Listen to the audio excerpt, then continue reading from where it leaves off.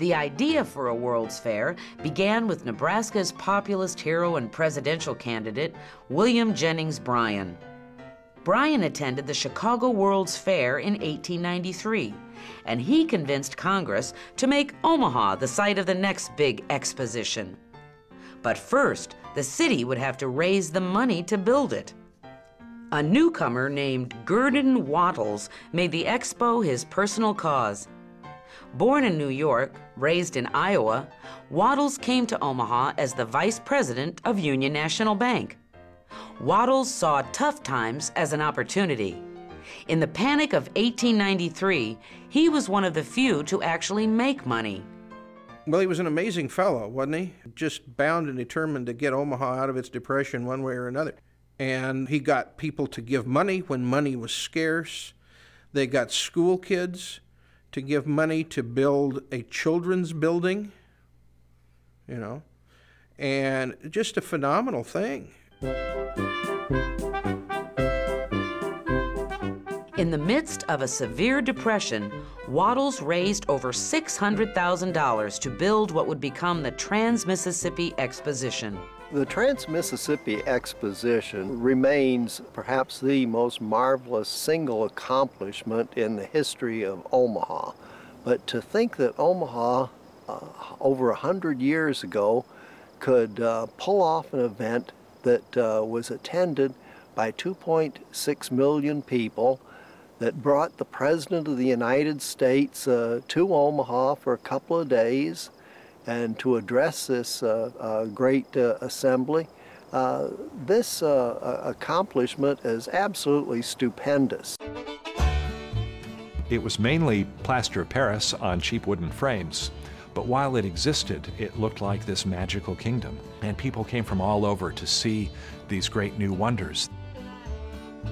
They had a horseless carriage there, uh, an automobile that was driving around, the first that probably anyone had seen in that area. They positioned the most beautiful array of buildings, new buildings, white buildings around the lagoon that had electricity, a massive display of electricity. Some persons who came had never even seen electricity, let alone a whole array of white lights and dazzling, dazzling uh, classical style white buildings. 27 nations exhibited here.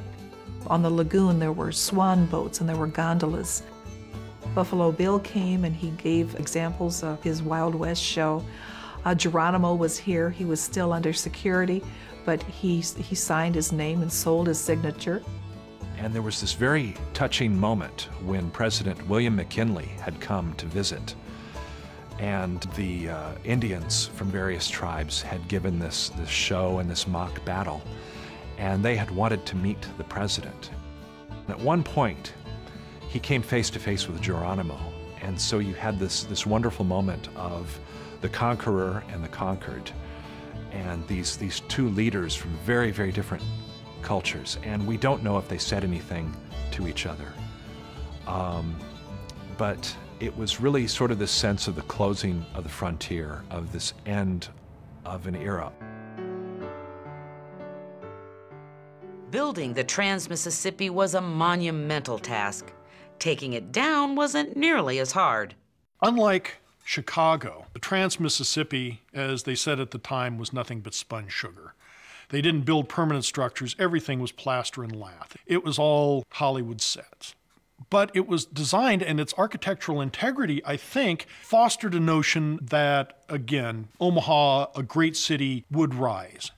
And by luck, their timing was pretty good because things did then turn around. We see things start to get better right after the turn of the century and opens the door for Omaha to become an incredibly prosperous city in the teens and 20s.